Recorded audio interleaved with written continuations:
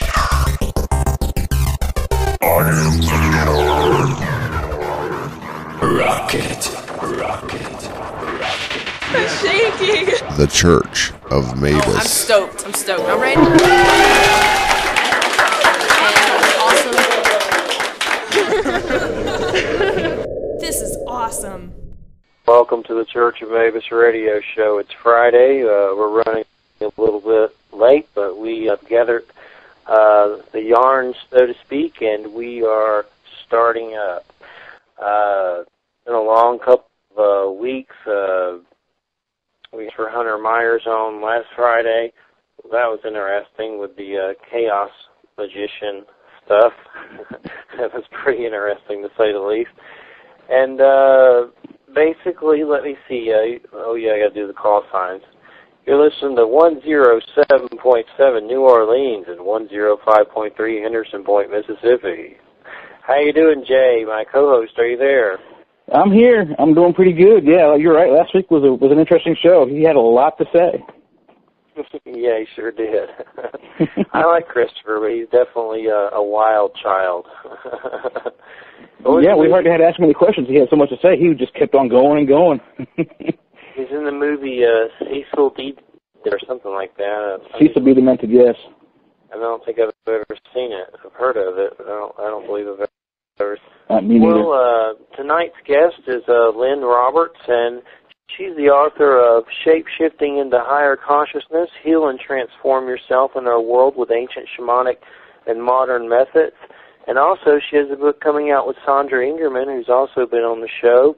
It's called uh, Speaking with Nature: Awakening to the Deep Wisdom of the Earth. I I believe that comes out, I think, in May. How are you doing, Llyn? Are you there? Great. Hi, Jeffrey. Really nice to join you tonight. Good to have you here too. I'm, I'm glad we finally got this party started. Yeah. Took a minute there. There was some coyote hijinks there for a minute, but it settled down. yeah. for sure. Well, um, as far as uh, looking through your uh, bio, all the places you've traveled and the different like uh, tribes that you've uh, hung out with and discussed uh, shamanism is just amazing, and it sounds like a movie or something that you would see in a movie. Did you go go a bit into some of that history with our listeners? It's definitely uh, definitely want to hear it from you. Well, I've been very fortunate the last 20 years. Uh, prior to that, I, I had studied Tibetan Buddhism with a Tibetan teacher here in the States for many years. And and uh, was doing energy healing and uh, then really open to some deep shamanic processes and uh, after the birth of my son where he and I uh, almost died when he was born. And um, so I started working with John Perkins, who um, uh, had been working with indigenous people for many years, and we traveled together to Ecuador taking groups uh, many times to the Amazon, deep in the Amazon with the Shuar people, and also uh, in the high Andes with Quechua uh, people, descendants of the Incas. And I've also worked a lot in Guatemala and uh, did some trips as well um, with my uh, expedition uh, partner in uh, Siberia, uh, Bill Pfeiffer, founder of the Sacred Earth Network. So I, I've traveled many different places and have an affinity for certain places, you know, but every place is powerful. And the most amazing thing to me is that these are diversely uh, different cultures. However, uh, they do very similar work in ways. They they all work with the elements: earth, air, water, fire, and they work with spirit. And they all have very similar worldviews uh, of deep uh, union, interdependence, interrelationship with the earth, and that everything is that we live within nature is alive and sentient, and uh, that we can relate with it. And there's great power and healing accessible to us uh, as we do that. And what what do they say about the Earth right now and the times we're going through? Do they have any common message or of anything that they share about the earth and the times we're living in right now? Yeah, definitely. You know, the interesting thing is that so many indigenous cultures the world over now uh, have had a prophecy about these times for a long, long time.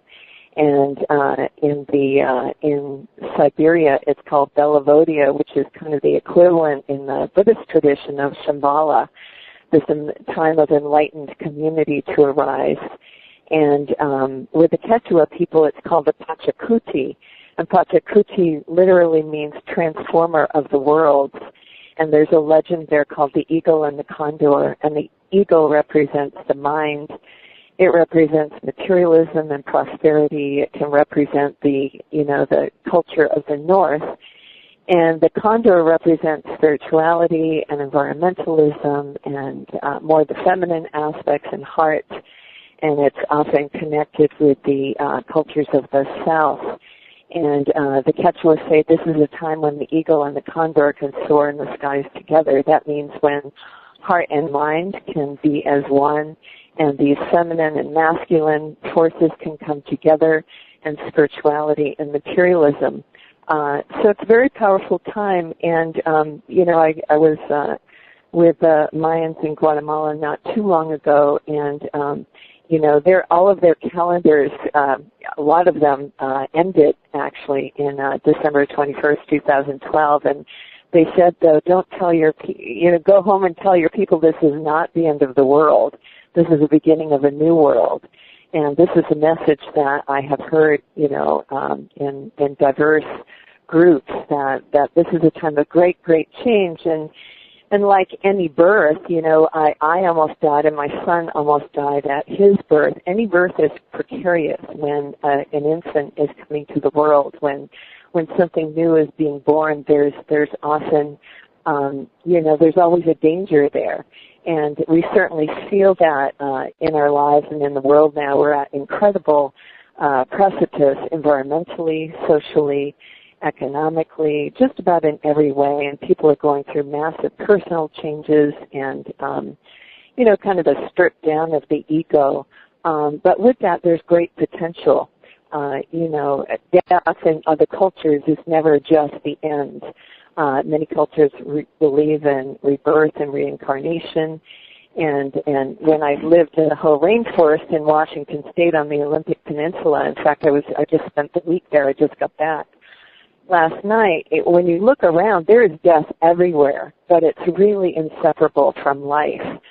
So this is an opportunity to die to old ways of knowing who we are and opening to a new birth, you know, a new birth of us and um and of our our world really and you know, I was thinking about it before I got on, and to me, it's very much like these days are very much like when we all, you know, many many eons ago thought the Earth was flat. Can we even imagine that now? But that was what people thought that the Earth is flat. And what happened when they discovered that no, the Earth is a sphere and I, I think we're really in those in a similar time now where you know everything we've been taught about what the world is about who we are about you know the way everything works um, i think we're starting to understand and it's already really into in our new sciences and our quantum sciences that our old paradigms just aren't true. And here we are still living the paradigms in our day to day life. And at some point, this day-to-day reality has to make that shift into these more, uh, these larger ways of understanding ourselves. That has to come into our day-to-day lives. So, uh, yes, cultures all over the world see this as a great, great time of change, um, with its own perils, but its own opportunities. And it's up to each of us to you know, we have to grieve our losses and, and feel, you know, the, the suffering around us and the imbalances. But it's a time to really allow that uh, to also wake us up to really seek and restore balance uh, within ourselves and as much as we can in our communities, and to open to new possibilities, to open to magic. A, a common message that uh, I've had a guest named Sherry Wild on the show, and uh, she's an alien abductee, and she had a message. And I've seen this message with many different people, but the Earth's chosen to go to higher vibrations or to the light more. And I guess uh, I, I know in my own journey that positivity is a big thing for me to keep up with, to keep in those energy levels, and to not sink into the shadow realms as I do sometimes. I think being a Capricorn might have something to do with that at times as well. But I'm noticing lately that there are some great shifts going on that are positive, but I also notice that there are like uh, maybe some negative strongholds and they're they're around certain kinds of people. Like recently, uh, a lot of the uh, in the Church of Mabus group, I share a lot of the stuff that some of the right wingers say, and I'm not even going to say some of the stuff that they say, but they say some of the weirdest, negative, crazy stuff ever. Mm-hmm. Like just an example, just briefly, a woman was assaulted from Craigslist and her baby was taken and the baby died. It was a, like a crazy thing that just happened recently. Some right winger just said something like it was God's justice for blah blah blah. It was just so weird. And to me, that's like evidence of that negativity. Like maybe sliming through certain individuals or something. But I, I, what do you think about the Earth going to like a higher vibration and positivity being the key to that? And some people, I guess, are kind of caught up in their own hells or something, and maybe that's what that is when people say weird stuff like that.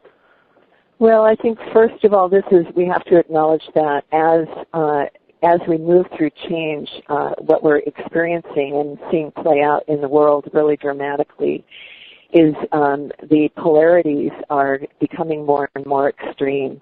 You know, uh, dark and light are just becoming more and more polarized.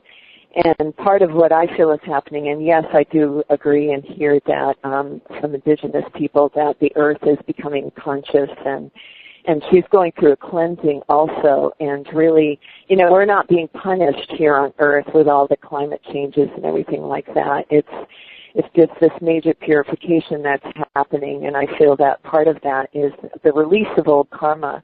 You know, when you think about what's happened, you know, just on our lands in the United States, level of annihilation and war and environmental degradation that affects all of us, you know, and we live on that energy every day and it kind of eats through us. And so I, I think part of that purification is a great karmic release and um, it moves through all of us and and uh, there's great confusion in the world and and uh, it can be challenging um, to stay balanced with that. And I find that you know there's so many things going on and and we're all impacted and I have a Capricorn rising. I'm not Capricorn but I have Capricorn rising. Okay. and I do a lot of work in training my mind because mind is most vulnerable and it's really time to move into our hearts and bodies and And, you know, we do have to acknowledge what's happening around us, especially what we come into direct contact with. But, but it's important not to get lost in it because we're just adding to the confusion. And, it, you know, it plays out in many different ways. And, um, it's, there are some things we can impact and others we can't. But indigenous people remind us about the power of thoughts and feelings, that those are energy. So the more we entrain our own thoughts and feelings to goodness and and you know to uh, love and power and wisdom and balance and harmony, the more uh, we can hold that vibrational quality and the more we can radiate it out, which does have an impact in the environment around us. Uh, we know enough about that now to recognize that you know, we're not separate beings in the world. We're impacted by other thoughts and feelings and actions, and in turn, uh, we can impact others. And I see this so vividly when I, I teach a lot at the Omega Institute in Rhinebeck, New York. I'll be there this August for shapeshifting into higher consciousness, and oftentimes I'm I'm there uh, during uh, the time that James Van Praagh, the medium, is there, and uh, it was very interesting one year because um, you know they're working with disincarnate beings all the time, and um, and we're doing our own work in different ways.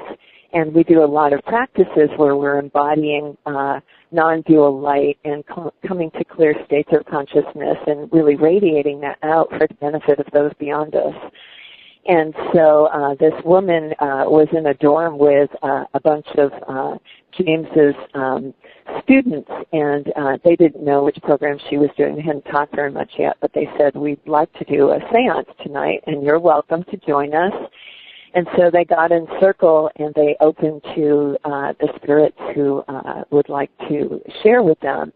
And they had these spirits come in who said, well, we're on the land and we're seeing these people who are channeling light and we're very, very curious about them and we'd like to know more about them.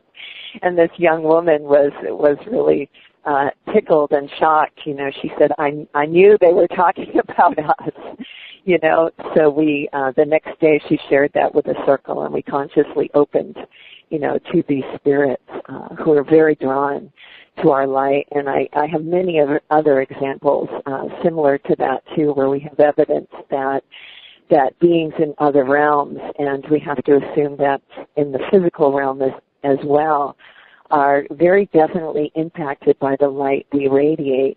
And this isn't like a light of good or bad. This is really moving into the light of source that we're all connected with, that we just have to reconnect with and remember because we all come from essence. Even, you know, the things that we consider most bad and imbalanced and disharmonious in the world, everything comes from source, just like everything that we've created uh, materially on this planet as as artificial as it may appear, um, comes from the earth. Everything comes from natural elements ultimately, and everything ultimately comes from source.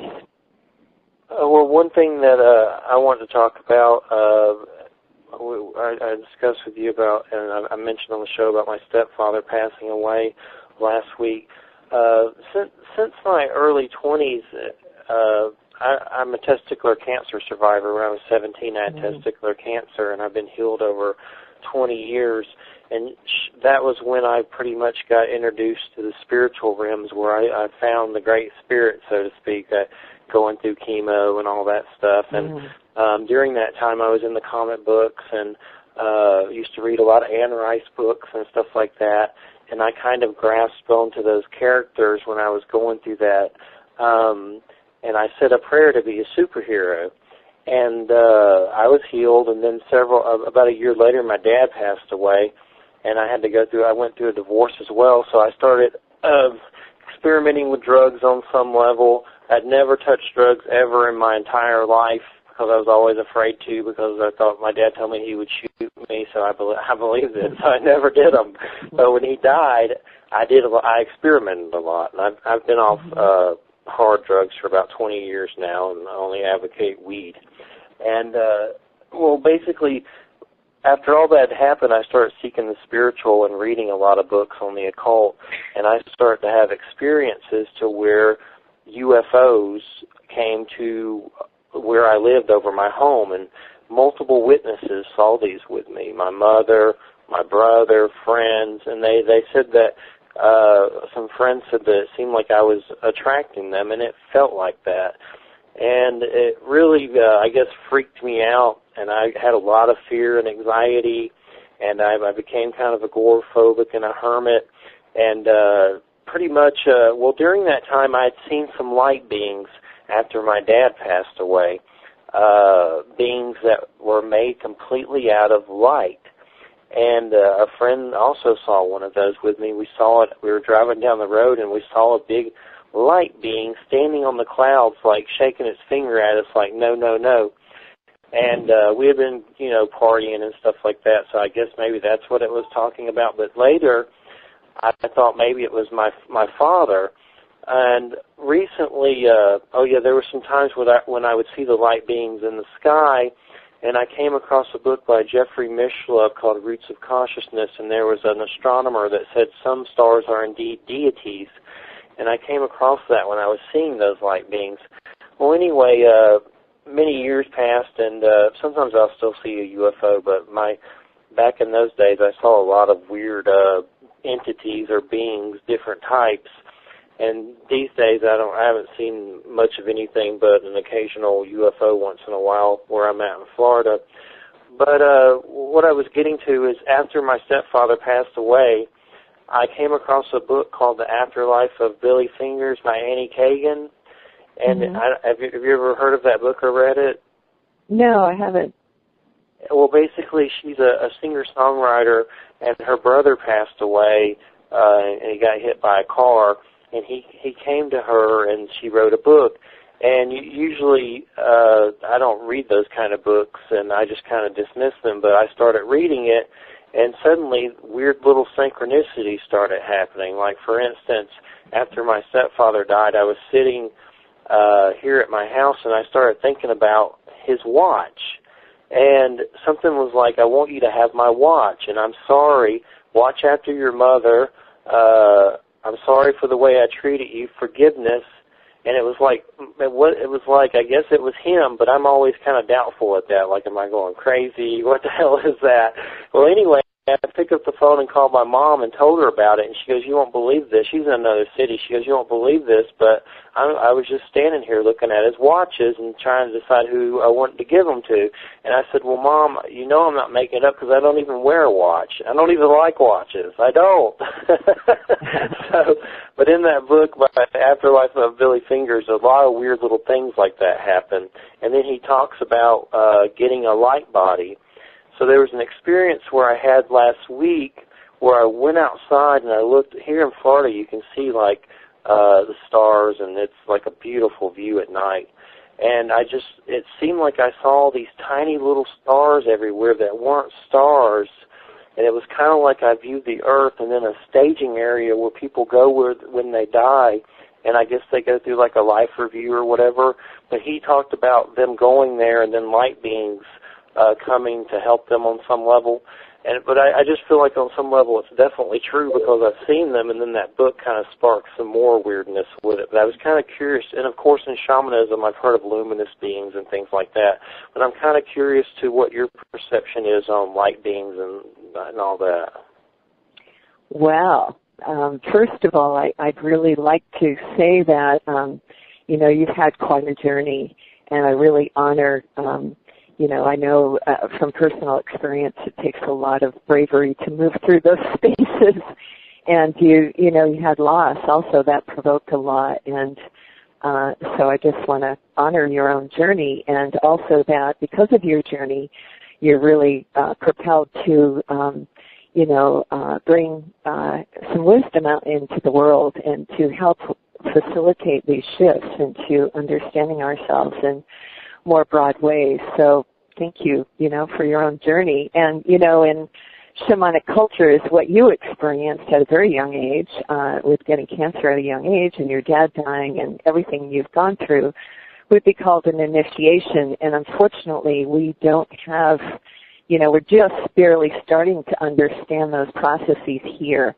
And uh, in other cultures, uh, for instance, uh, when I was in Siberia working with very old um, shamans in their 80s, uh, they they talked about the shamanic illness, and they wouldn't even work with someone who hadn't had the shamanic illness.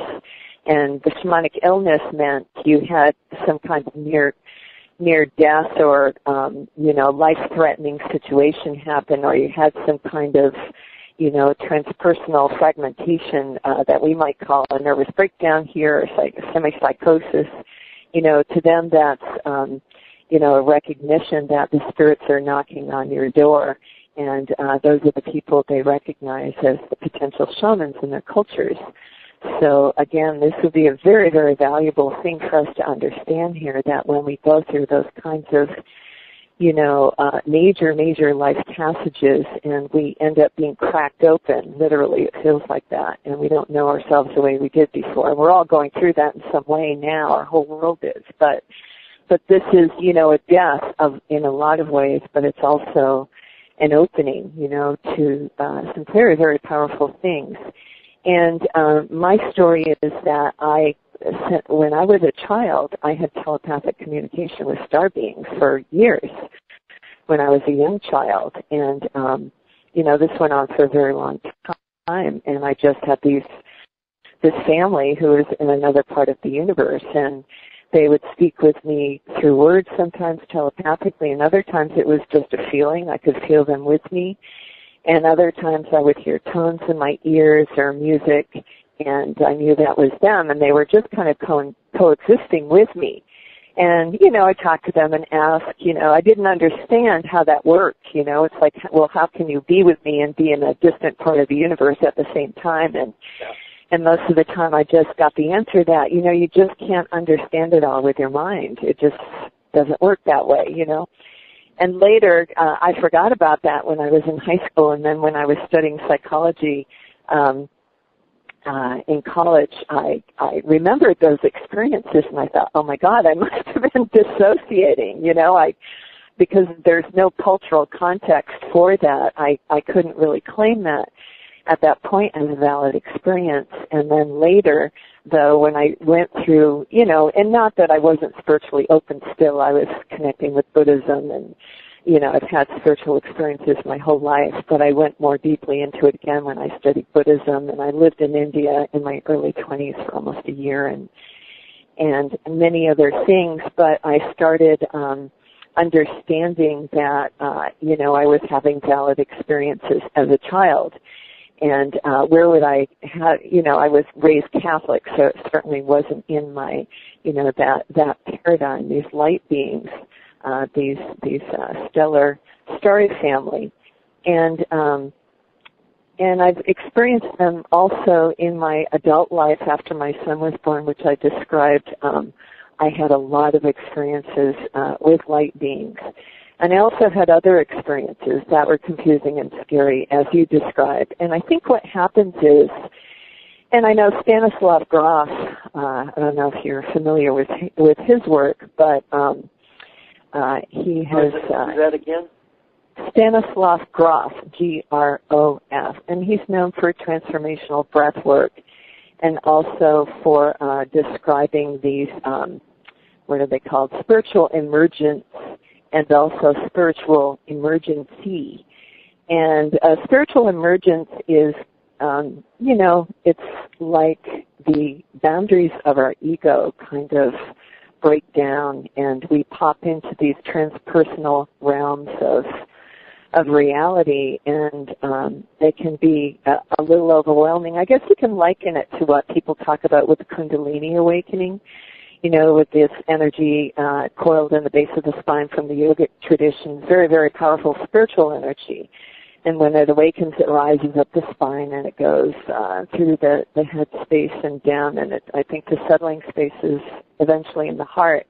When it gets into the mind, it can be uh, really uh, kind of pop you open, and you can perceive many, many things. And and you're kind of, um, you know, um, sometimes it can be an extreme opening and it can be precarious and you can kind of go off the deep end sometimes. You know, it's for me. I had a nine day period where I could barely stay in this world because I was continuously talking with spirit beings.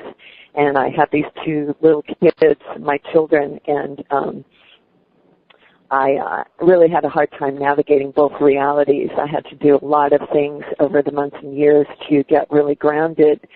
And that's when I decided to uh, actively start working with shamanic people because I could, within my culture, just think, oh, well, I'm having a nervous breakdown and get medication or something.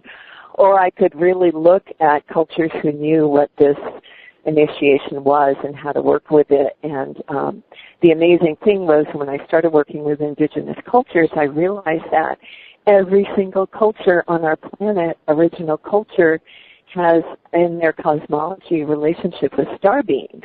I mean, it's it's it's there, you know, and it's nothing uh, weird or it's nothing uh, really um, you know, out of the realm of reality at all. It's very much a part of their day-to-day life that they're star people and that there are ancestors and there are other beings and there are many things, you know, and in the Amazon with the Shuar, uh, John and I have talked to the Shuar and they, they talk very um, commonly about these spheres of light who show up in the night and they can be like glowing kind of white um, goldish balls of energy or they can be blue balls. And I've seen these very vividly myself also.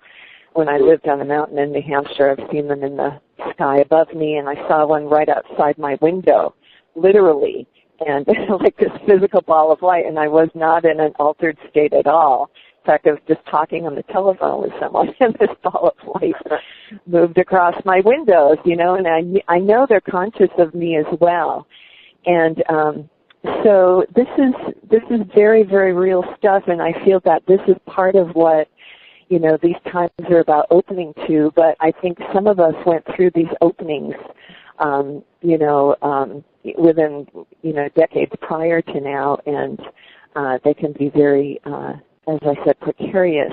But i think we've we're all learning that we can integrate these better and i think with the shifting frequencies of the planet the veils are really getting thinner and it's coming out in our sciences, it's coming out everywhere. I mean, Catholics now are talking about ETs and, and it's, it's in our realm of reality and it's something we can integrate now in, um, in very different ways. Definitely. Uh, Jay, uh, my co-host Jay McNicholas, he, he can only stay for a short while because of his job, but I want to get make sure he gets some questions in. You, you still there, Jay? Yeah, I'm still here. Um, yeah, I, on the initiation that you were just talking about, I kind of agree with with what you're saying there. I won't speak to people on the UFO thing if they haven't had certain experiences or if they haven't read certain books on it. Uh, but I'd like to ask you, going back to like the Earth changes we talked about a little while ago. Um, I don't know if you're familiar with the Hopi. The Hopi have the five different world ages, and four of them we've got passed through already, and they've been destroyed by fire and ice, water, and fire again. In your experience with the, the tribes you were with, did any of them have any kind of uh, ancient stories about how the Earth has gone through several changes and what might the next change be and what they think about that? Yes, um, you know, the Pachacuti with the Quechua people, this is the fifth Pachacuti, and um, you know, they say that this will be characterized by, um, you know, it can be characterized by uh, great imbalances coming in. I don't um, think it exactly parallels to what you're describing with the Hopi, but um, you know, each group has their own, um, you know, stories about the uh, many different realities and worlds that we have been through on this planet Earth and um, you know I think it varies depending on which culture you're you're working with. hmm And th- there are also uh, this is kind of a weird story, but it's the myth of Apollo's daughters. Where they're chased by Zeus, and then he he finds them, and then Apollo hides them, and then Zeus finds them again, and then finally he hides them in the in the stars as the Pleiades constellation there's that same story is also reflected in the American Indian myths and in the Australian Aboriginal myths. Have you found any myths or stories that were like exactly similar to something you heard from Greek or Roman or even you know biblical type stories? Hmm. Well, I'd have to think about that. I, yeah, I'm not sure, but that that's fascinating, isn't it? Um, yeah, how that same story can go across Yeah. so many cultures that had allegedly no contact, and they have the same virtually exact word for word story across three continents.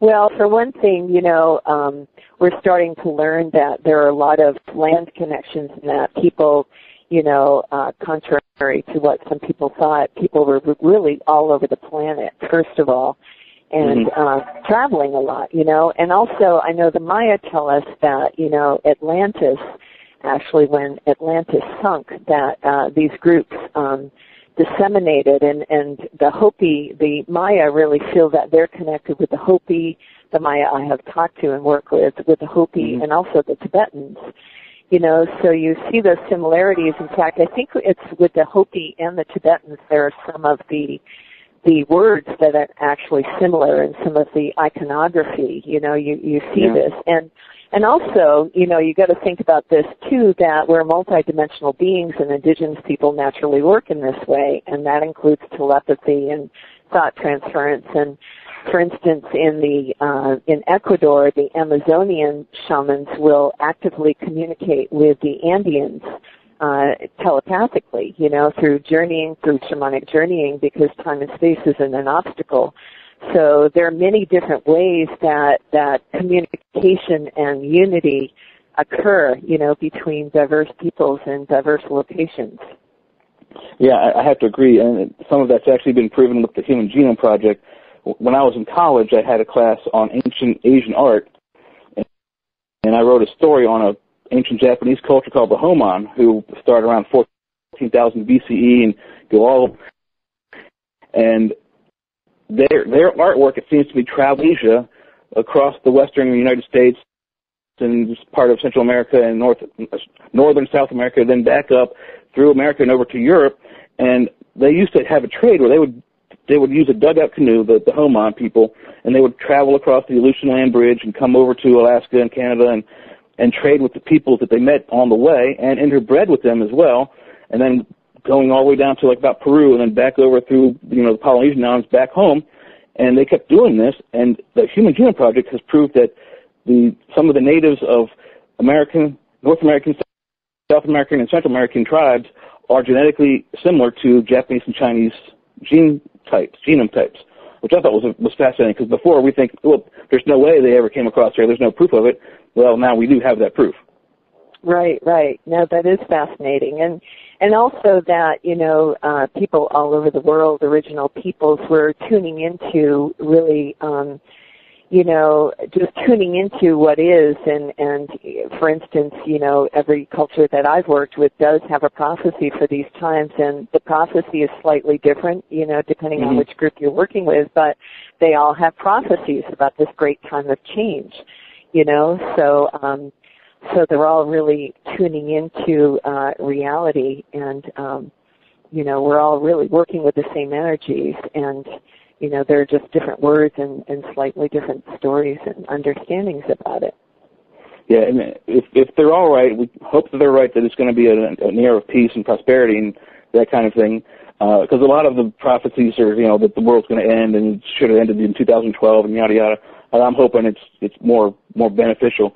Um, but with that, I'm going to have to go because I have to head out to work and get myself ready. But it was great to meet you and talk to you. Thank you very much for your Yeah. answers. yeah great to talk to you All right, Thank take you. care, Jay. Stay All right, thanks, Jeff. We'll talk to you next week. All right, stay out of trouble. I'll try. bye bye, everybody. So I noticed in your, yours. Oh, first off, so how did you and Sandra Ingerman get together for this this book? How did that come about? Well, that's an interesting story. Um, I moved to the Hoh rainforest uh, through auspicious events um, uh, on January 5th, 2012, and this is the largest temperate rainforest in the world. When I lived on the East Coast, I grew up in New Hampshire. I had never heard of the Olympic Peninsula in Washington State or the Hoh rainforest, um, and many people I present this to back east. Um, haven't either, but uh, it's an amazing place, temperate rainforest. And um, so I lived as far in as you can go on a private strip of land in between state and national forests, uh, really on the edge of the wilderness. And um, within that first week of moving there, I had a dream. And I had met Sandra about, oh, a decade maybe prior to that in Vermont and and only once, you know, but I I really respect and um you know, uh, I think she does really beautiful work in the world, and I know many people do. And um, so I had a dream about Sandra and I, and I saw us working on a project together, and we looked really happy uh, working on this project. So I woke up from that dream, and a lot of my dreams I have manifested or have have manifested for me. I really um, my dreams are real tracking signs. They're a very powerful part of my life. And so I thought, well, that was a really nice dream. So maybe I'll contact contact Sandra and see what she feels about this and invite her to uh, do a project with me. So that's how this book came about. I contacted her and she was really excited to uh, participate uh, with me and we decided to write a book together. And the beautiful thing about the book was here I was in this amazing pristine environment, really unique. Um, place um, with old growth forest and pristine glacial waters and uh, elk and many different other kinds of uh, wildlife. And Sandra, lives, Sandra lives there too, right? No, she lives in a totally different locale. She lives in New Mexico, oh, okay. in, near the high desert and mountains uh, of New Mexico. So the beautiful thing is in this book, Speaking with Nature, we're each writing about nature beings in our diverse locales and we, uh, you know, they complement each other and they bring in different teachings from nature and also ways that people can really move into the deep spirit of the nature where they live. Even if you live in a city, you know, we're in the city, we, um, you know, we can't dismiss the plants in our home and and the sky and the insects and the, the there's city parks and there's flowers growing in the flower boxes and there's birds that live in the department stores. I mean, nature is all around us, and we are nature. So, so the book is basically uh, like a compendium to tapping into the the spirit medicine of, like, for instance, you have chapters called Snowy Owl and uh, Black Bear, Corn, Elk, and Snake. Any way I can get any kind of wisdom like this, I'm all over it. Uh, I don't. I have some cards I'm looking at now that uh, are kind of similar. The uh, Jamie Sams, the Sacred Path cards. Yeah medicine cards that they tap into the the same you know type mm-hmm. energies mm-hmm. and the, those are great and this book is great as well and it's it's hard to find this kind of stuff unless you're just really looking for it. I like collect it like Indiana Jones. Uh-huh. like if I could find it like uh recently Clifford Mahooty uh did a uh a seminar on the Zuni and the Star People like any of that stuff like uh, they're rare to find like DVDs of people talking about stuff like that or books even. I mean there's more books than DVDs of course but if any of it pops up into the uh the stream I'm I'm on it. Yeah that's great. And you know we we were just uh I think both of us deeply changed by this process too because what we did was for each of our nature beings and some of them you know, we're we're from other locales. For instance, the snowy owl, and I wrote about Nunkui, the earth goddess of uh, of the Shuar in the Amazon, and a few uh, different elements came in. But we completely mused this book just the way the book was incepted. It came out of a dream, so we each kind of felt what nature beings were calling to us and those were the ones we wrote about and what we did was muse deeply into these and I spent so much time uh, outside with these nature beings in the in the rainforest and just went deeply into a dreaming process with them for them to teach me what they wanted to share. And through my own experience also these deep transformational teachings about living on this planet and also uh, the deep message that everything is alive really alive. And and again this is part of our paradigm shift is that you know we have amazing animal communicators. I don't know if you know of the work of Anna Breytenbach in South Africa. She's doing just beautiful, astounding work with telepathic communication with animals, wild animals as well as domestic animals. And um, you know, and we have evidence out about, you know, plants and uh, the sentience of plants and how you know, plants, when somebody pours hot water down the drain, you know, the algae down the drain, well, the house plants will react, you know, when the, when the algae is killed in, in the sink drain. I mean, it, just amazing intelligence and life all around us. And when we start to really tune into that, um, it changes us. It changes us in a really fundamental way because we are part of that life too. And we feel so disconnected these days, you know, um, and that's part of our paradigm of separation that we're not part of the earth and that we can do anything we want to the earth, you know, because it's it's a commodity. And, and we walk around in shoes and we're heel pounding, we're just slamming our feet in the earth. And that's a that's a consciousness of a, a dominating consciousness. When I work with Tuvan shamans on the Asian steppe. The shamans have these these big boots, these big um boots with a curled up toe and I asked them, it's like, wow, that's that's really unusual looking, and and what is that about? You know, because everything in these cultures has a meaning, everything has a symbology, and they said, well, that's about that's a reminder to us to walk softly on our mother. We walk softly on the earth. We're in a relationship with the earth, and all the shamans are all about, you know, maintaining that balance between people and nature in the spirits in the cosmos. You know that that's their job. They're mediators um, and keeping the community in balance with the earth.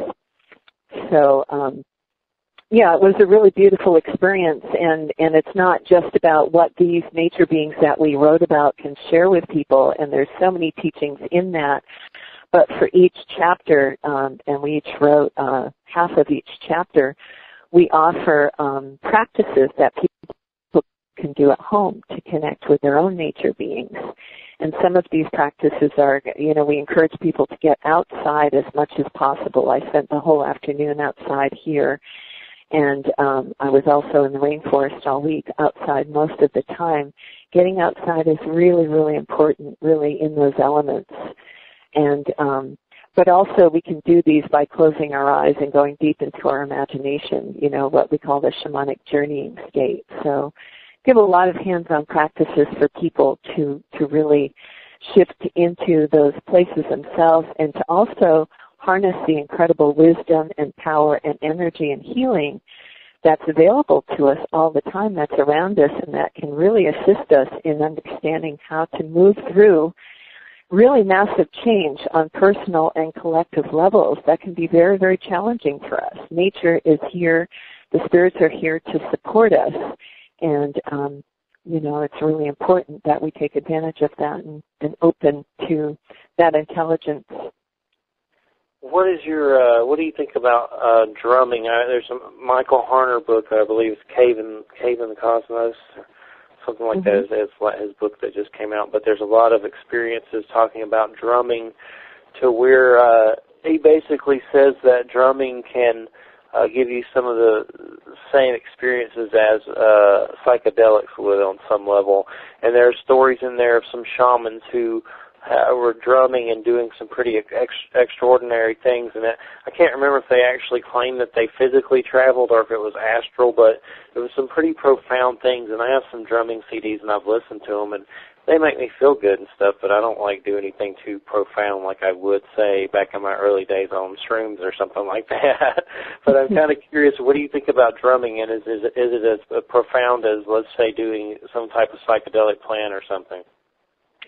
Well, drumming is very, very profound. First of all, they've done studies on drumming, drumming that rhythmic beat is um, really physiologically healing for us. It'll shift your brain waves and it also lowers your blood pressure and um, you know it's a stress reducer and uh, so it has healing effects for the body you can feel that that vibration and uh, it originated um, well the word shaman originated with the tungus people in siberia and those are definitely drumming shamans. Not all shamans uh, drum, use the drum, but um, there are different methods of accessing expanded reality.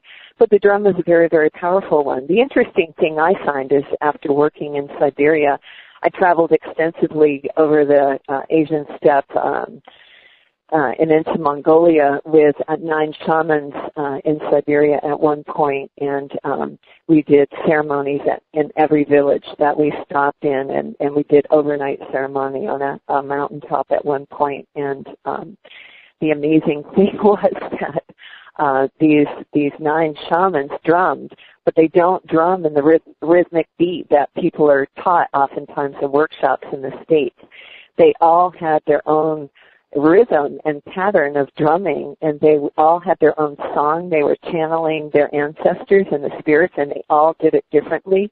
And it was like this wild cacophony, just wild, you know, so it's very, very different.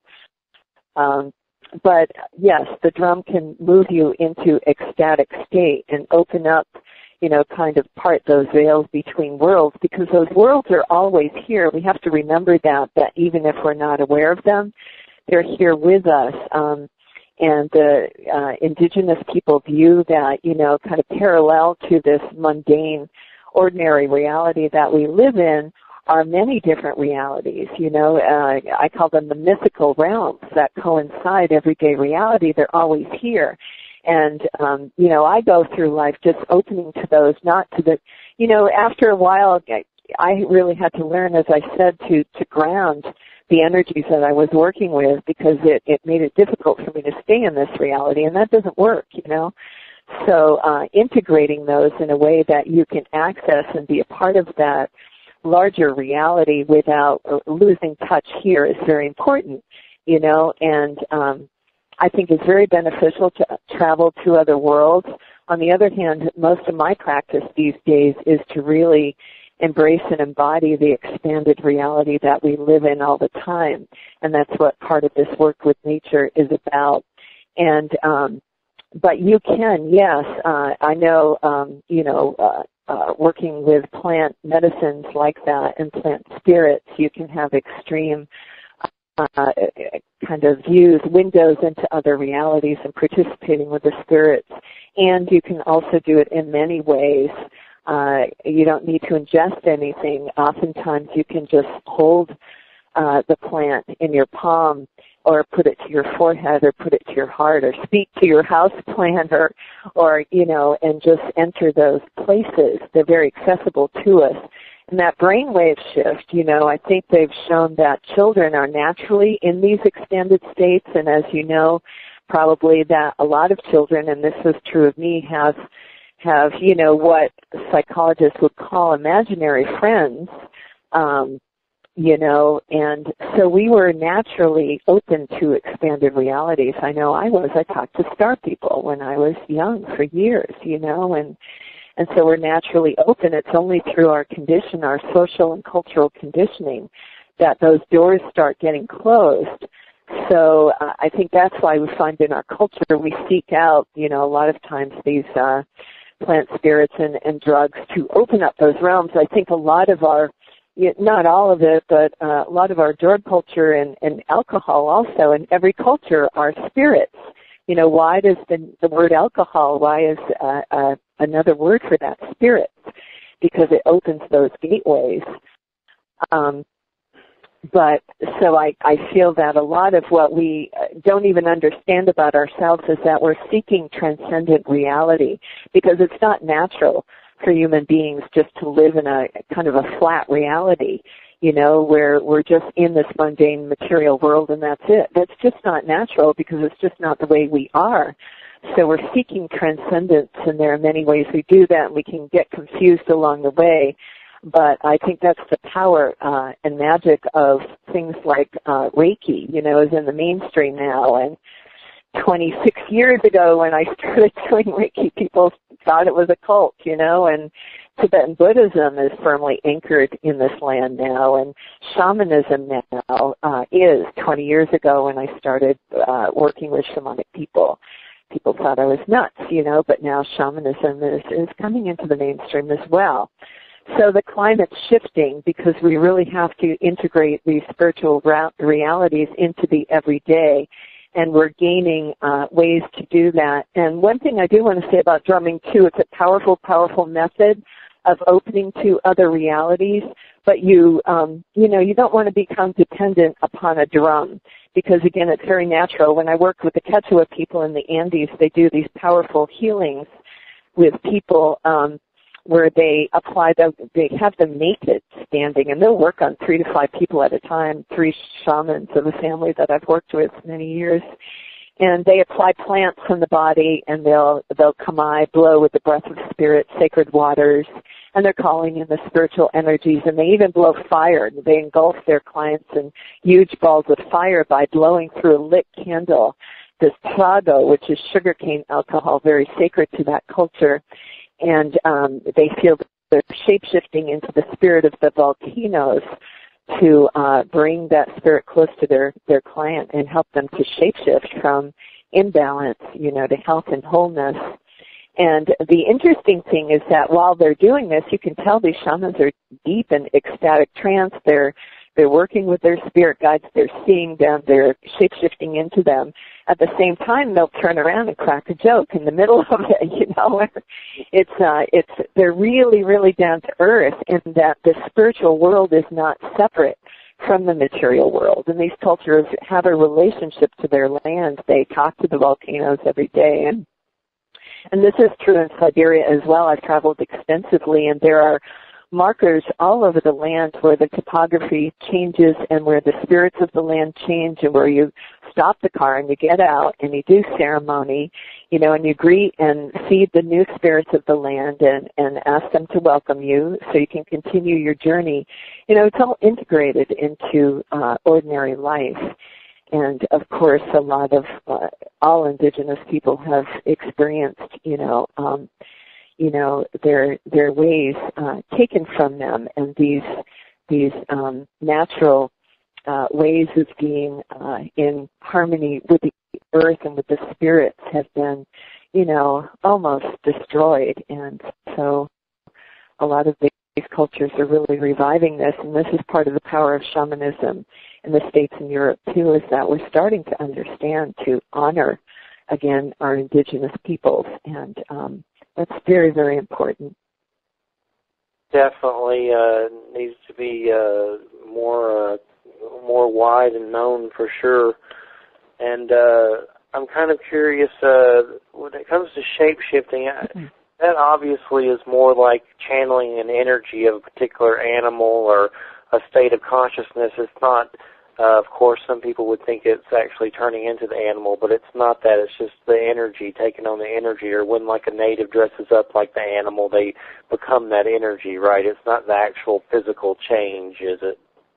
Well, I think it can be both. For instance, a woman I worked with, a shaman in Siberia, uh, I presented her uh, with uh, a necklace, a, a rainforest seed necklace from the Amazon uh, that I got from some of the Shuar people as a gift for her. And she cried when I gave it to her and told her where it was from because she said, oh, you know, I, and this is translated, of course, for me, she said, I travel to the, the, the rainforest all the time as a ball of light. I've never been there in, in my physical body, but I travel there as a ball of light and I know that is my true home. Now isn't that amazing? And here the, you know, the Shuar and the Amazon see balls of light. So that's a shapeshift, you know, um, and yes, I believe this is possible. And, and what are we seeing, you and I, when we're seeing balls of light? You know, what is that? And, and I've heard profound stories of, of shamanic people literally shapeshifting physical form and I think ultimately that's possible because we're one with everything. We're not separate from that, you know, that uh, panther or whatever it is. Um, but shapeshifting can happen on many levels, and when the shamans are engulfing, you know, clients in, in balls of fire, that's a shapeshift. That's invoking the energy of the volcano to shift the energy field of the client because it's it's seen that our beliefs are held, you know, our beliefs really um, affect our our own shape, how we how we manifest, you know, in our personal lives, and we can see how our beliefs culturally have manifested, you know, um, a culture that sees itself as separate from nature and the impact of that. So shapeshifting is a way of shifting those core kind of, you know, beliefs and attitudes and energies that hold the template for physical reality. So physical reality can change. So when you receive shamanic healings, and I've seen it and I've done it my, you know, been a hollow read for it myself and working with my own clients that whether it's doing uh, straight Reiki, I've seen profound, profound, immediate shape shifts, healings, spontaneous, miraculous healings. I don't see miracles as extraordinary. They're part of our human nature, part of our birthright. And so those are shapeshifts. And we can all, you know, shapeshifting is about applying intention, intent and energy to shift form, to shift physical form. And all indigenous people talk about the dream, that the dream is very, very important, that the dream is our thoughts, our feelings, our attitudes, our wishes, and how this really um, is what manifests our material world, and they are inseparable. So it's, it's a very important thing for us to start to connect with this ancient wisdom and start to understand our own power to shapeshift and that, you know, even things that appear impossible, you know, if we apply our intent and our energy and and uh, just open to positive uh, change, uh, I believe profound things are possible. And, and again, I've seen pretty outstanding things in my life. You know, I I really have high hope for the world because um, I've just seen miraculous, uh, beautiful parts of our reality that I know are really wanting to come in now amidst all the other um, difficulty. And I think part of that difficulty is making itself so pronounced, pronounced in that, you know, the tragedies and the darkness in our world because we have to understand that that's, that's part of us too. You know, we have to find a way to love those parts also. And that's not easy to do, but um, we have to find some harmony within us um, and again, that radiates out to uh, affect greater balance uh, on the world around us. I'm remembering all the times I've seen those weird balls of light and the red and blue, like you said. I've seen those too.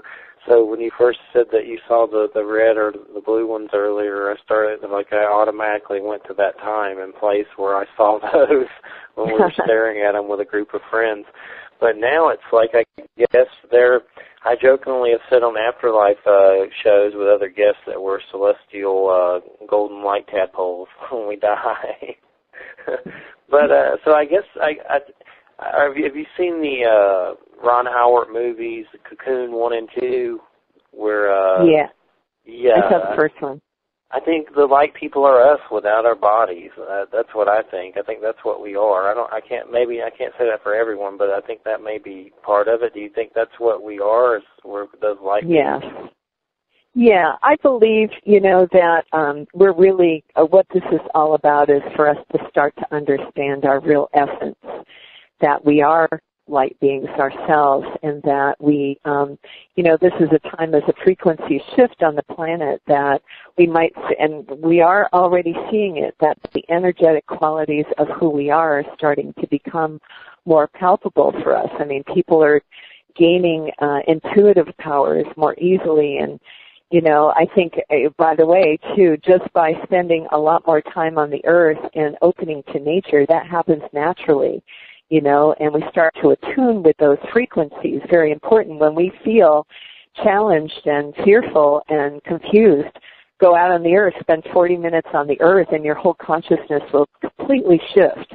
And you'll feel that support and guidance of the earth and that expanded sense of things, which which really changes, you know, how you experience yourself on the planet. But yeah, we are them, and I think part of our paradigm shifts are we you know, we want to think and kind of compartmentalize and kind of chop everything up so we can understand it.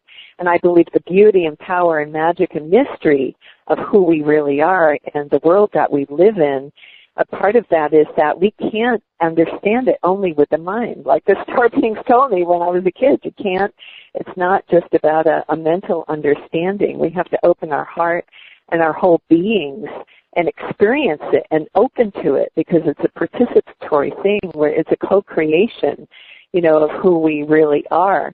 And for instance, another example is when I was having those out there experiences, you know, those nine days when my kids were little, just really cracked open and talking with spirits and uh, seeing yeah, light beings and all kinds of things. Um, I also had the experience of casting souls and I would be in my body and suddenly I would feel this really intense energy like uh, you know and sound in my ears like this roaring sound and I knew it was coming and I just my body would freeze where it was. I couldn't do anything and then I would feel myself eject out of my body, and I would be traveling really fast through these tubes of, I don't know, they're kind of like in uh, contact actually, you know, these um, wormholes.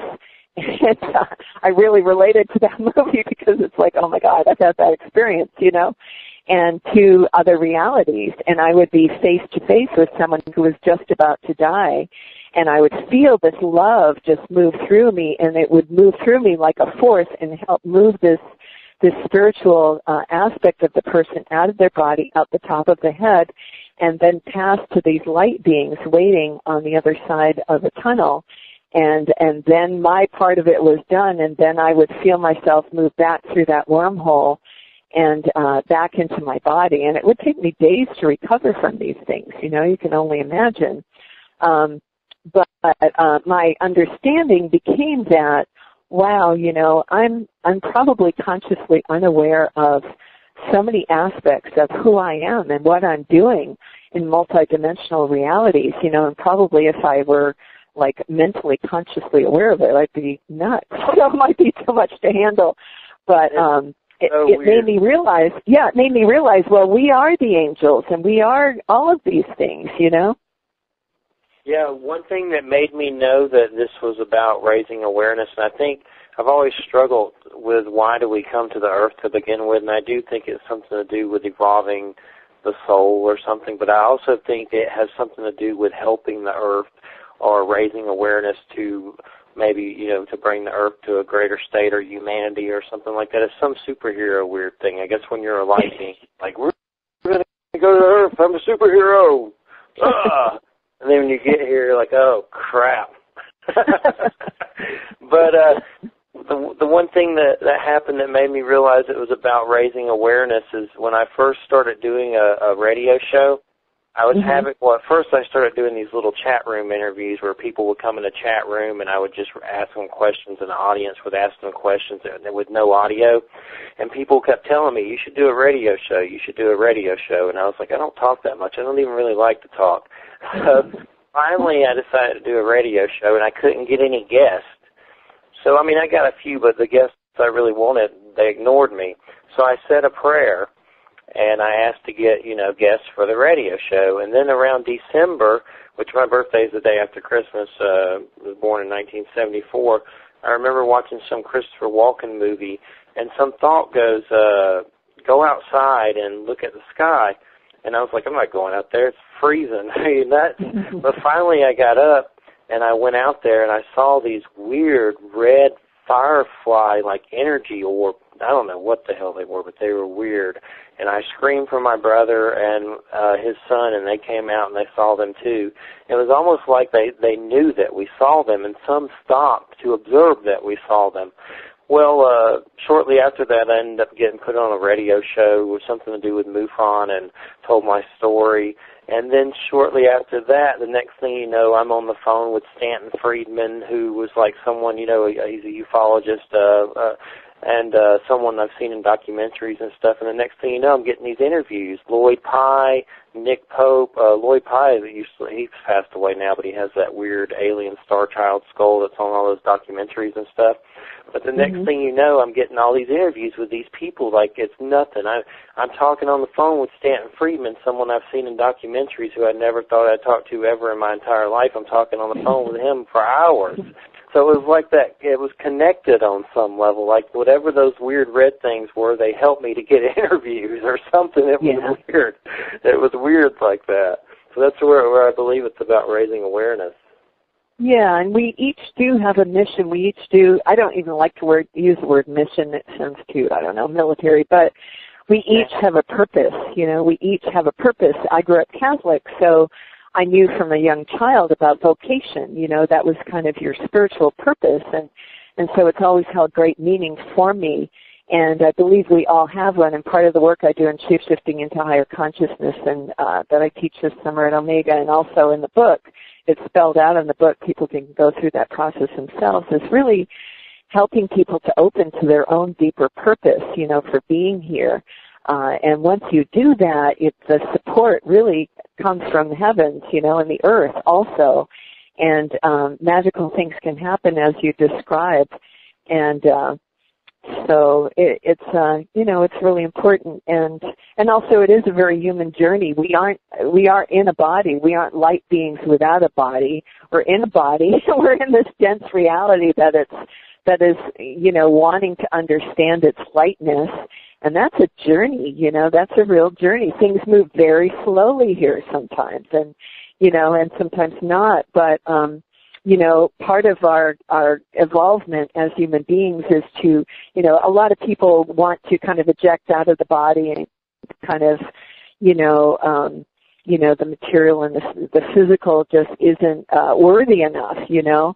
But it it's to me it's all about fully embodying our light and really uh, moving deeply into our heart, and that means embracing our difficult feelings and our, uh, you know, the parts of us we have a hard time with too, and also the parts of our world that it's it's all part of that light. And um, so it's a different challenge for a light being that's that's in a body here on earth and and um you know i you know i have the feeling personally that we we come in and you know, I was thinking about this. You know, we're talking about death a lot too, and today, according to the Maya tradition, is called Kame, and Kame is um, about death and transformation. So it's very interesting. We're talking so much about that, but I was thinking that, well, I'm 58, and 59 years ago, I wasn't here in this form. You know, so what a powerful, powerful thing to um, think about, uh, you know, where people can be so afraid to die and what's that and is it the end and what happens after the, well, you know, a year before you, before your first birthday, you know, you weren't here. Where were you then, you know? And I feel that, you know, I was conscious of coming in and I think we all were and we, we had something that we came in to offer you know, to the beauty of the world and the understanding of the world and and it's time to open to that and that the circumstances are right. And all of these tragedies playing out around us should be an impetus for us to to really access those places in us. And you're one of those brave characters who really went for it. And you're get you know you've gotten the support you asked for. You asked for it and you got it. Definitely uh I guess uh, my problem with death is just like uh, I have like I have to be on time for things. It's like this appointment that's always just looming over me, and I I've been saying prayers to try to think about life more than thinking about death. It's and then it's like I have so much cool stuff. I have Sasquatch statues. I have a a giant alien statue someone gave me, and you know my game consoles and stuff. Just the thought that in this house one day I'm not going to be here, and all my stuff is going to outlive me kind of bothers me. Unless I could be a light being and come back and play my PlayStation 4, that'd be nice. yeah, we do get attached, don't we? We get attached to things. But, um, yeah. Definitely. Well, uh, one thing that's always interested me a lot about the native uh, folklore is coyote. I have a, a chant I say from DJ Conway, and I think I say it too much. I probably have said it so much I have annoyed Coyote. but but it goes shape changer, uh, trickster, shape changer, keep me from danger, cunning magician, show me your ways of magical fire, powers much higher, lead me to new life, brighten my days. I think it's like my superhero mantra. But I've had some Native American women on before, and uh, they made me a, a quilt, like a native quilt from two tribes with coyote on it and now any of those folklore stories and stuff like that, I collect those books. I just love them. Those stories are nuts. I love those stories.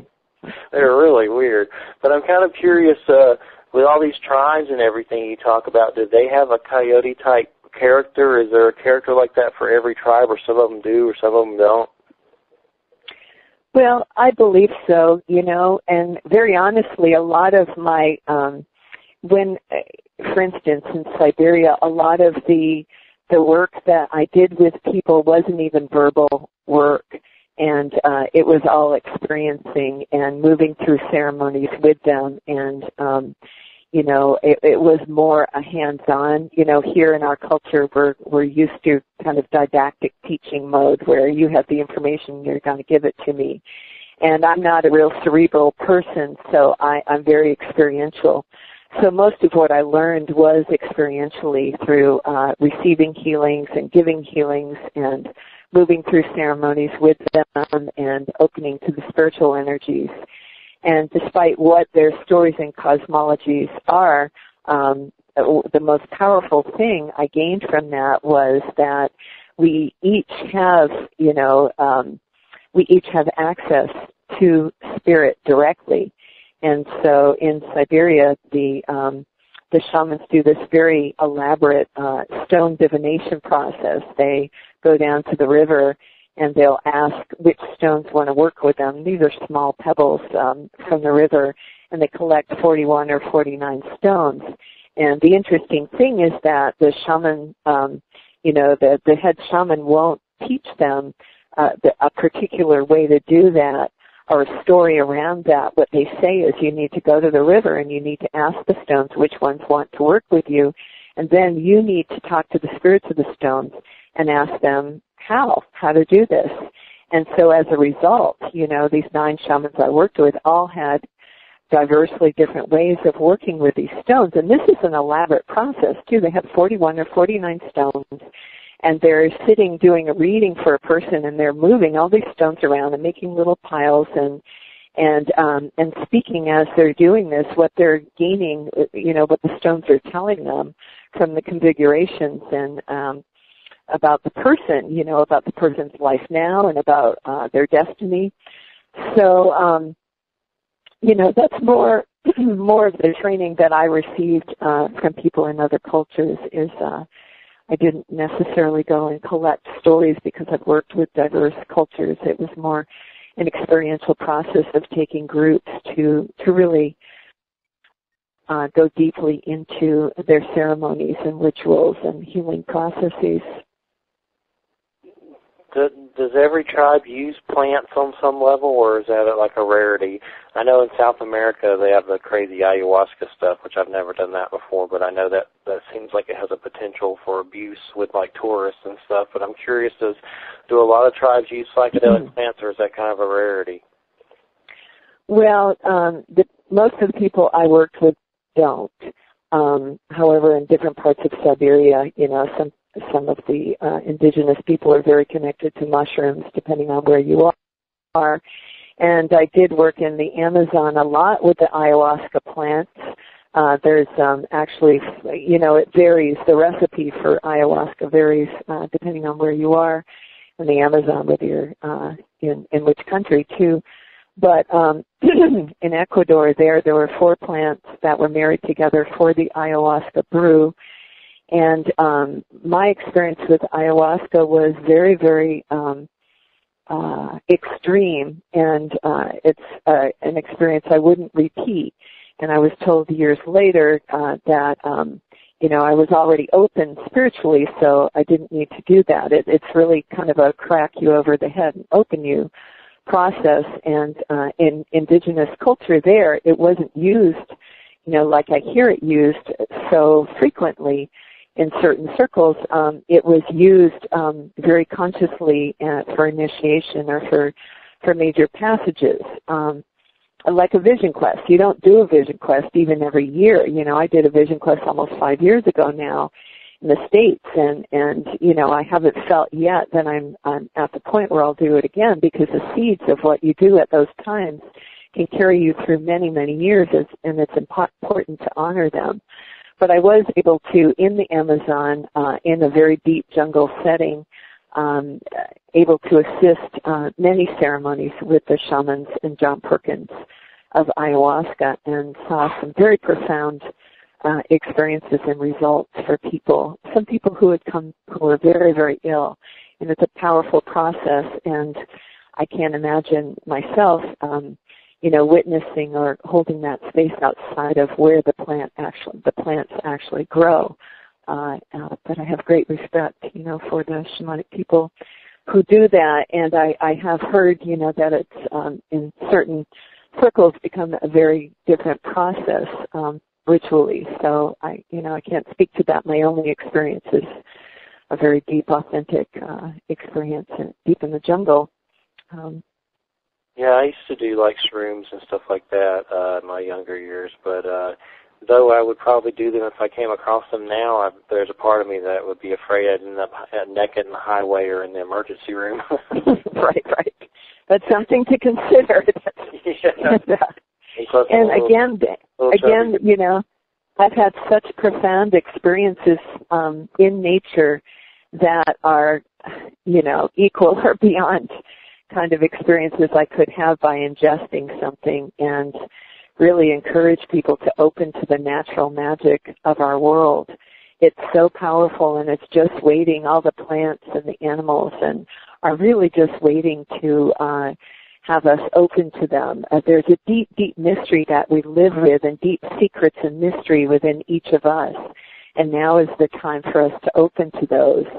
And um, it really takes some discipline and some open-heartedness and willingness to go out to nature and start talking to the trees and sitting with the trees and taking naps, you know, on the roots of the trees and and making offerings and and treating our natural beings around us, um, you know, as um, co-inhabitants of of this amazing planet, uh, and to build those relationships and magical things happen, you know, and sometimes they're kind of ordinary and magical at the same time and and this is what we have to revive here. When my first morning in the Hoh uh the other day I um I woke up and before I even left the little hut that I was staying in I I telepathically put the word out to nature that I was here and that I was really wanting to connect in whatever way they would like to connect with me and and then I walked out onto the gravel bar. It was early, 6:37 in the morning, and the mists were rising, and it was stunning. It was overwhelmingly beautiful, and I just was stopped in my tracks.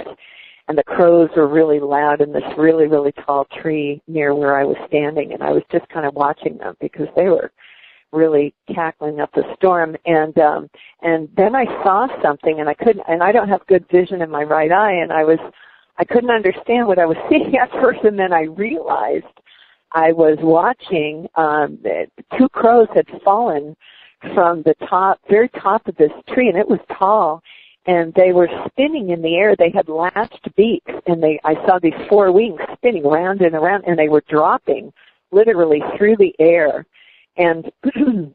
in spring, you know, I think these are mating rituals. I've seen eagles do this once on Whidbey Island, Washington and they almost hit the ground, but they release right before they do, and they fly back up. Well, this happened um, as soon as those crows uh, landed on that top branch again. Another pair dropped out of the tree, latched beaks, and spun all the way down through the air. And this happened three times.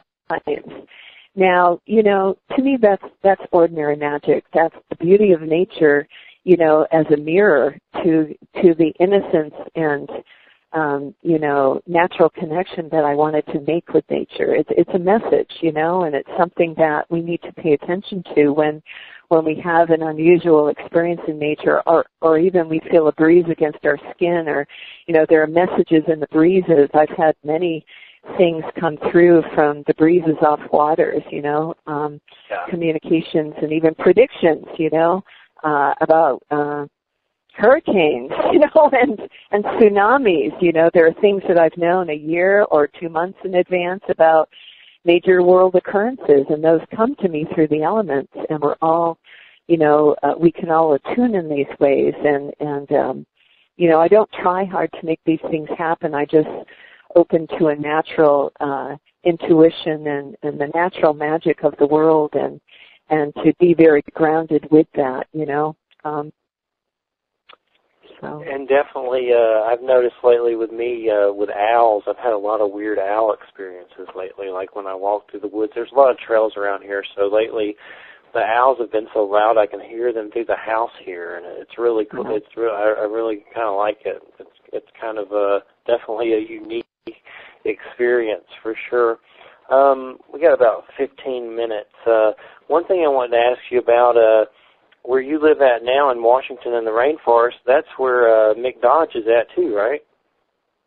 Yeah, and I'm not living actually in the rainforest right now. I'm a, uh, an hour and a half or so uh, outside of it, but I did for almost two years live uh, in the rainforest at the edge of the wilderness. And uh, yep, that's where uh, Mick Dodge of National Geographic's The Legend of Mick Dodge uh, was born and uh, his homeland. That's, And he was my yeah, I he was my it. forest guide during that time that I lived there. I couldn't have lived there on my own. I had met Mick Dodge on Whidbey Island, Washington. He was living in a tent at the time. And he does this very beautiful, profound uh, physical training, uh, working with the elements and the uh, that he learned from the earth itself. He has profound earth wisdom. So it's an actual physical training um, that he works with sticks and stones and movement and, uh, and it brings a deep resonance with the earth. He's also known as the barefoot sensei. So I did a lot of training with Mick at the time. And then uh, moved, when I moved to the rainforest uh, in early January of 2012, he was my forest guide there.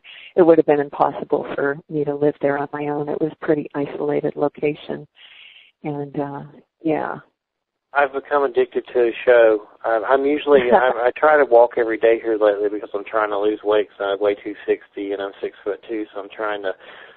I, I force myself to walk every day now, but I used to be a lot more angrier about it. But I think since watching this show, I'm I'm, I'm not so much. Usually, I'm like, okay, I'm just I'm walking just so I won't be fat. And there's spiders, mosquitoes. They're eating my flesh. I'm in Florida, so Oh, there's, okay. there's weird mosquitoes down here that I think the government even lets out that scare me, like I'm paranoid about.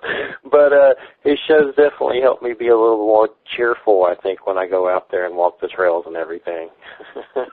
Yeah, So, that's great. I've only seen it once because I don't have television, but um uh, you know, but um yeah, he has profound that, right? Earth wisdom. Pardon me? You facilitated getting helping to get the show on Nat Geo, right?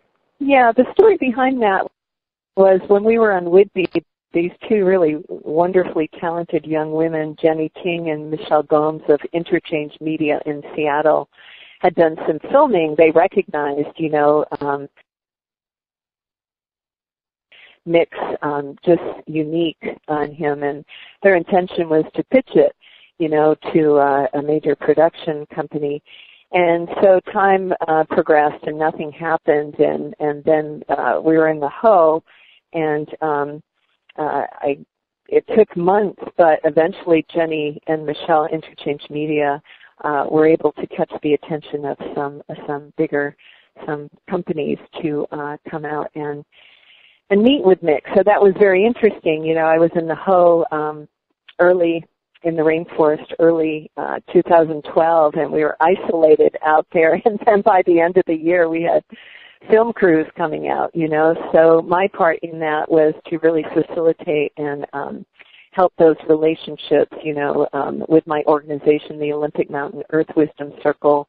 Helping to secure entertainment lawyers and work with contracts and work with film crews and and helping in those ways, you know, for um, that relationship to uh, result in uh, what you're seeing on television now.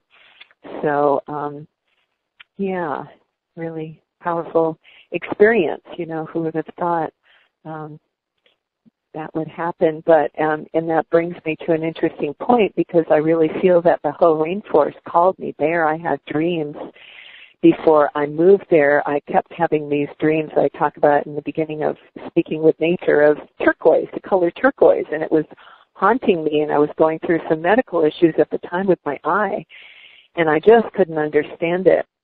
And then I had asked Mick Dodge to um, take me on a retreat for a few days to the Hoh so I could just kind of grapple with this this medical situation I was dealing with and all the anxiety and you know, life changed that. I went with that, becoming, you know, half blind almost overnight. Um, and um, I, when I got to the Hoh, I saw the turquoise waters, and I just knew that was that was the turquoise that was calling me. And so, you know, when the opportunity came to move to the Hoh, I just knew it was the right thing. And um, and then, you know, this dream the first week I was there about doing the project with Sandra and contacting her and her real enthusiasm to write a book together. And and so and then you know months later um you know by the end of that year Nat Geo coming in. And now the Hoh is seen all over the world, you know, through primetime television, and it's coming out in Sandra's in my book, and I really feel that nature is conscious, and it really is calling us home. You know, the earth is calling us home to it, and uh, sometimes we think we're in charge and we're navigating everything, and I know so differently in my life that, you know, I participate. I'm participating with nature, and and that's a good thing because I think there's an intelligence well beyond what I can think myself to. And, you know, I really rely on that intelligence and try to attune with it as much as possible. And barefooting is a really excellent way to do that. You know, you have thousands of nerve receptors at the bottoms of your feet. And so you're really opening to that earth consciousness and energy. And there are many evidence and scientific experiments and proofs and books. Earthing's one of them.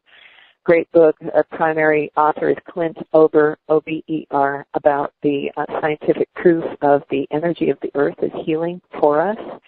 And um, so it's uh, uh, the earth is conscious. It's calling us home, and that's part of how we will learn to evolve through these rapidly changing and perilous times. Is is by opening to that. And yes, you'll get healthy too, and you don't have to think so much about uh, losing weight. It'll happen, you know, and open to that deep union with the earth and make friends with those mosquitoes in some ways, you know. You may yeah, want to use a, a natural repellent or eat garlic, you know, so they're a little repelled. They like but, um, for some reason. yeah, okay. well, I'm a buffet. They're living beings too. yeah. Yeah. So. Like there, here comes the buffet. It's like KFC over there for that guy. Well, change your diet, maybe. You know. Yeah, I've been trying to eat better. It's a struggle. yeah. It'll be. It might amaze you if you shift your diet. You know how the mosquitoes react too. You know, it's all connected, and whatever we put into us exudes from our pores, and all of nature around us is very, very sensitive to our sense, you know, and to our energy, and you know, it's and we're all connected. So I always ask people uh, on the show. Uh, I even asked the guys about from who did a show on Civil War Ghosts this question. So it's kind of my. Uh, I have a book out on Sasquatch, and me and Andrew Colvin, who's a specialist on Mothman, uh, we put a book out, and it's all these interviews with people about Bigfoot. It's called Praise for the Hairy Man: The Secret Life of Bigfoot, and it has mm-hmm. perspectives from all different walks of life. Like there's like the hunter types that are out there that would probably shoot it as soon as they could and sell it to a museum, which are kind of creepy. But there are also people that think it's like an alien. Like all these interviews with different people who are serious about Bigfoot. Of course, I'm a bit comedic about it. I believe there's a Bigfoot, but I, I try to put some humor into it. But I'm kind of curious you got any uh secret intel on Bigfoot through your travels? well, you know, I've heard um again the similarities all over the world that um certainly in the northwest, you know, there are stories and everybody's uh, looking for Sasquatch and Bigfoot and I know Mick Dodge at one point was when he was running through the forest and, and his beaver suit was mistaken for for Bigfoot, you know. But um yeah, episode where he actually there's one episode where he actually dresses up like Bigfoot to mess with people. oh, okay, okay. Yeah, again, I don't have television, so yeah, yeah. And and by the way, I believe characters like Mick Dodge um, come into our reality mirror when you know we're we are in imbalance. We're separate from the earth, so these archetypal characters come in that are kind of like signposts saying, "Hey, the earth, you know, pay attention, the earth really catches a lot of attention. He's caught world attention. It's really powerful. But yes, I remember being with John Perkins in Panama with Jane Goodall and uh, who does who's done you know for so many years so uh, such beautiful work with animals and chimpanzees and the earth and talk talking about um the culture, some of the cultures she's worked with and the legends that they have that sound very similar to, you know, other legends in other parts of the world about Sasquatch and Bigfoot. And so yeah, it's out there in our mythologies. And you know, you think about dragons, I mean, what was on the planet, what is on the planet, we don't know. There's still deep ocean recesses, you know, that we don't know about, mysterious parts of reality. Uh, you know, I think this is uh, really powerful and, and important. There's a lot of mystery and things yet to discover. Um, So I'll have to look at your book.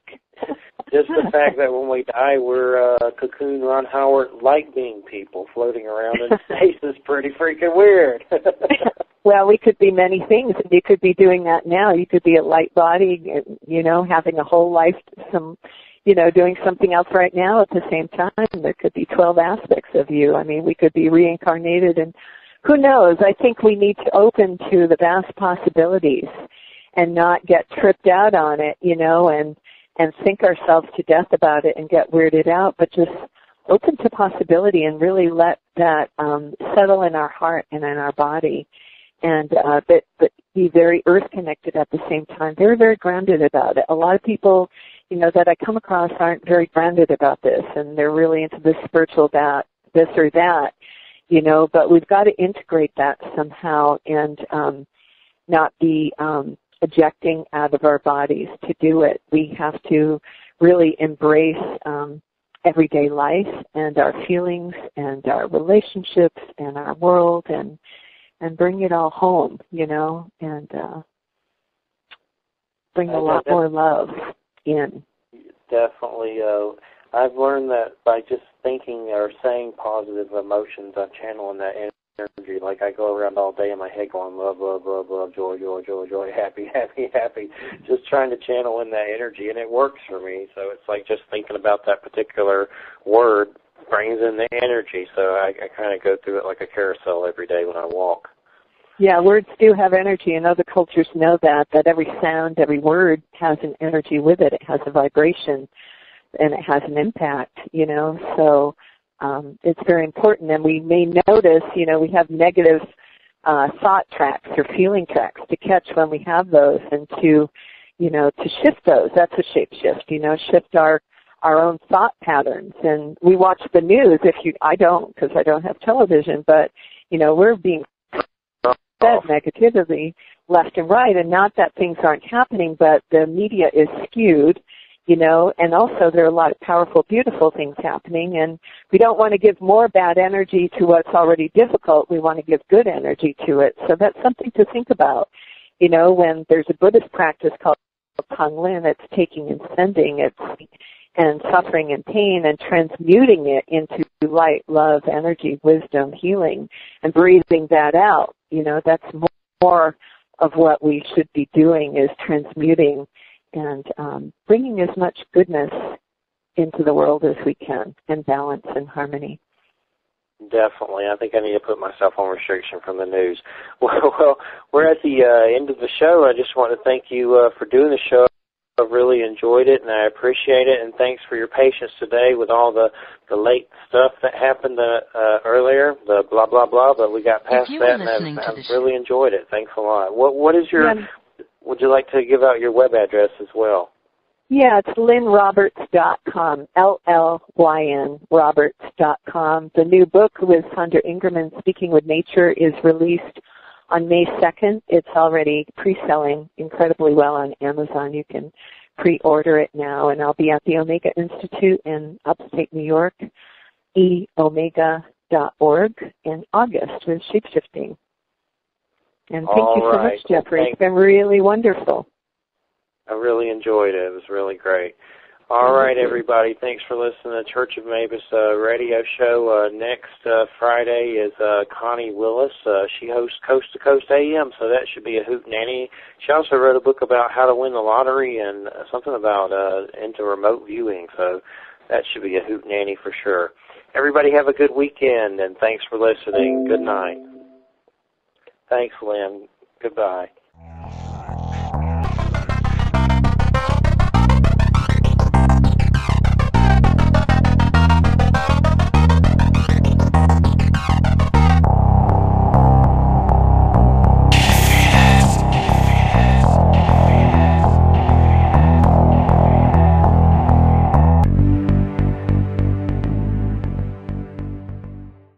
Whoa! Did you hear? Listen to the Church of Mabus radio show, hosted by Jeffrey Pritchett, 7 p.m. Eastern. Friday. Nice. Follow your weird and journey into the high strange. Be sure to stop by www.churchofmabusradio.com for upcoming shows, paranormal news, and show archives. That's www.churchofmabusradio.com. churchofmabusradio.com.